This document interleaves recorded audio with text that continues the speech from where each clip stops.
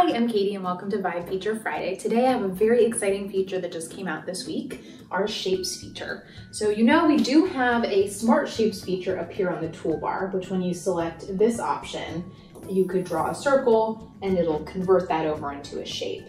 Our new Shapes feature is even better. So I'm gonna show you how this works. You can find this feature available on the toolbar menu down here in the middle. And what you can do is select which shape you want to add. So if you want to add a square or a circle, you just start drawing with your stylus and you're able to add that shape.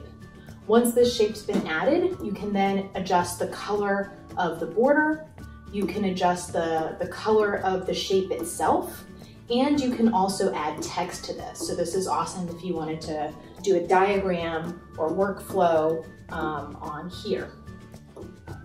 And then the best part, or one of my favorite parts, is how you can link them together. So if you're working on a workflow like this, you simply hold down that shape and then you're gonna use these little blue dots, oops, you have to do it fast, use these little blue dots to then connect it to the shapes that you wanna go to.